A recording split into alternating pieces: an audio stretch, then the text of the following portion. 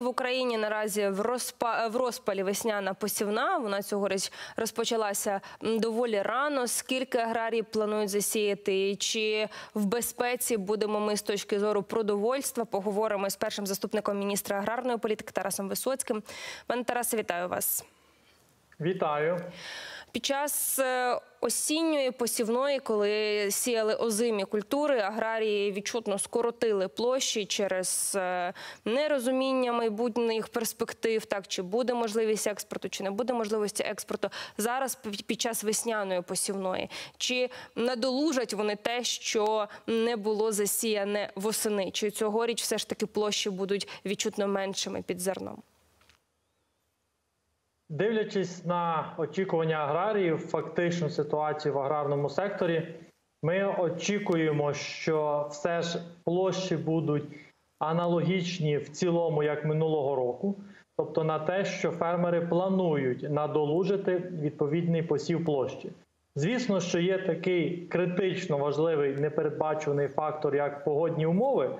Треба пам'ятати, що крім військових ризиків, які були основними, також погодні умови не дозволили осінню посіяти всю заплановану площу озимих.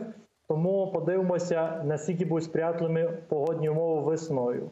Але за мінусом погоднього фактора аграрії планують всі наявні площі, які будуть безпечні, розміновані і доступні, засіяти і відповідно збільшити посів ярих культур, щоб компенсувати зменшення осіннього посіву культур. Тобто про дефіцит е, зерна і інших ем, е, складників нашого та продовольчого кошика, саме рослинних, не йдеться. Все нормально з цим буде. В будь-якому разі однозначно не буде дефіциту базових е, зернових культур на внутрішньому ринку. Планується, е, звісно, достатньо посіву і таких не експортоорієнтованих культур, як е, гречка, та ж сама овес, які меншим чином експортуються, чи просо, але важливі для внутрішнього споживання. В цілому треба розуміти, що навіть в цих складних воєнних умовах обсяг виробництва по зернових культурах е, буде мінімум в 2,5 рази більший ніж внутрішнє споживання.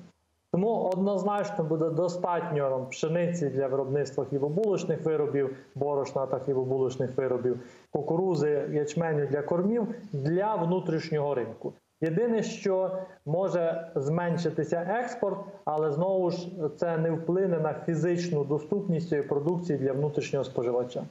А от що стосується овочів, цибуля та морква цього сезону просто б'ють усі рекорди по ціні. У зв'язку з цим чи прогнозується збільшення площ під е, цими рослинами, так під цибулею та морквою, для того, щоб ну якось і ціна відповідно знизилась? Дійсно, таким історично найбільшим промисловим кластером за останнє десятиріччя по виробництву цибулі, перш за все, в тому числі моркви, була Херсонщина та Запорізька область. Е, На жаль, е, з початком повномасштабної війни в кінці лютого е, не вдалося цю продукцію отримати українському споживачу, і також не встигли фермери в інших регіонах суттєво наростити, бо був малий проміжок часу.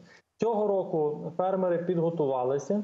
Ми маємо інформацію з різних регіонів, як з Одещини, так і з центральної України, з Західної Тернопільської області, Черкаської області, що планується відновити вирощення овочів там, де останні роки це не відбувалося.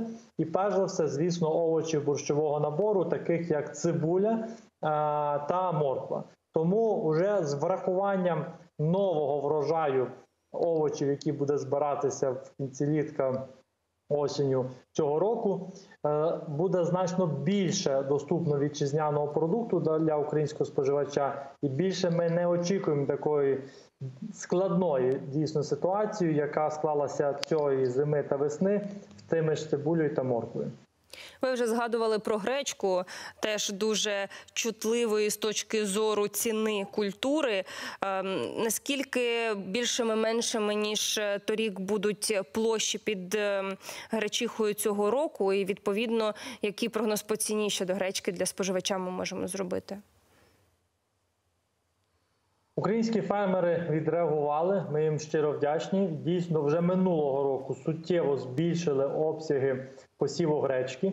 Відповідно, було вирощено навіть більше ніж є потреба для внутрішнього споживання, тобто сформувались резерви. І ми вже бачимо, що ціна на 50% що саме на сьогодні менша ніж була на піку минулого року, е, там в кінці весни чи влітку. Згідно попередніх прогнозів, очікується майже аналогічна площа посіву гречки цього року. Відповідно, це означатиме, що знову ж буде вирощено та вироблено гречки більш ніж достатньо для внутрішнього споживання, не буде потреби в імпорту, і як результат не буде підстав для зростання ціни.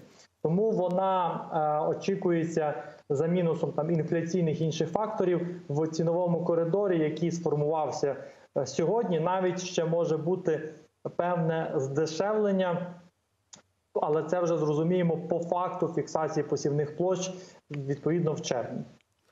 Зрозуміла. Дякую вам дуже за те, що долучилися та інформуєте. Тарас Висоцький, перший заступник міністра аграрної політики та продовольства України.